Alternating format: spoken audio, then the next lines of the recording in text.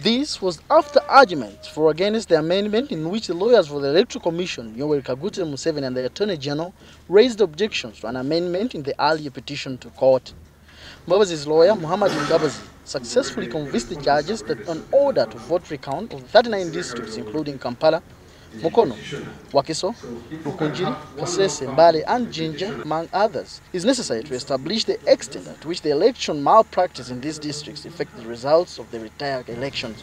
In their short ruling, delivered by Eldad Mwangusya on behalf of the panel, the justices concurred with Mbabazi's Attorney General that the said evidence should be filed in court because it touches the substantial matters regarding the validity of the election of the National Resistance Movement candidate Yoweri Kaguta Museveni. The justices have now ordered for the hearing of the petition commencing on the 14th of this month and that the parties have to ensure that the necessary documents are filed in court by the end of this week to enable them dispense justice in 30 days stipulated days. Earlier on, court was forced to adjourn the trial after defense lawyers led by Deputy Attorney General Mwesigwa Rukutana wanted court to trash the application by the Mbabazi to have an amendment saying it would delay the court processes. They urged that the election petition has limited specified period of which the matter has to be dispensed in.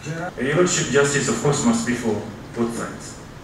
Uh, the parties, the petitioner, has had about 14 weeks prepare days, sorry, 14 days to prepare the affidavits. We presume by the time they filed, they had evidence to be preparing affidavits.